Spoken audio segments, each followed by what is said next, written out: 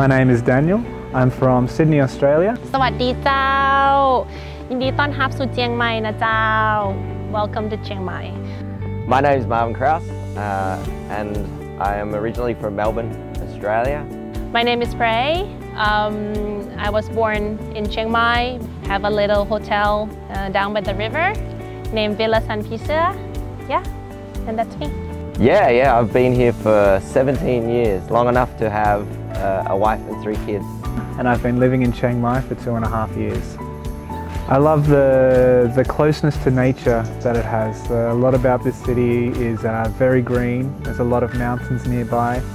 Uh, you can go out from the city like 15 minutes, 10 minutes, and it's just like you're enter into a whole different world.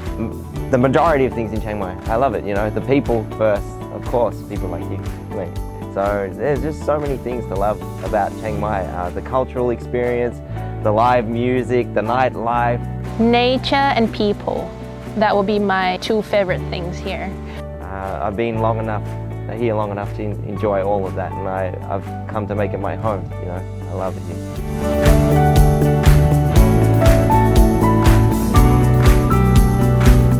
Khao soy, definitely the khao soy. And they put the crispy uh, fried noodles in it, you know, uh, and uh, either you can get it beef, chicken, mixed, whatever you want. I get to control how much spice I put in it, so no, not for me, but some people like it very spicy. Huay Tung Tao will probably be like the one that I like the most. I just drive there five, ten minutes and I can just relax looking at the sky, the mountains, and sometimes they have the rice paddy and it's cool. Doi Pui, the top of, uh, top of the mountain there. It's brilliant. Sometimes the fog rolls in, um, which just makes everything even more magical. Coffee in Chiang Mai is a culture in, within itself, uh, and that's changed in the last couple of years, you know. Market hopping, that's for sure, or joy art class. Uh, Muay Thai and boxing training.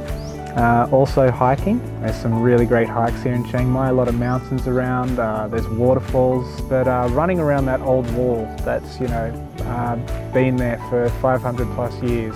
On Facebook, personal life will be the Chiang Mai Nomad group. And sometimes you can just post like, yeah, I want to hang out for a day and like who would be interested. And a lot of people showed up. Um, since I've been in Chiang Mai, I've gotten sober. And there's a really good sober community here in Chiang Mai. So I got here well, just before the COVID lockdowns happened. And so it's only been in the last few months where um, everything started to open up again. I feel like the city actually reset itself back through times. What I love about Chiang Mai is it didn't last long.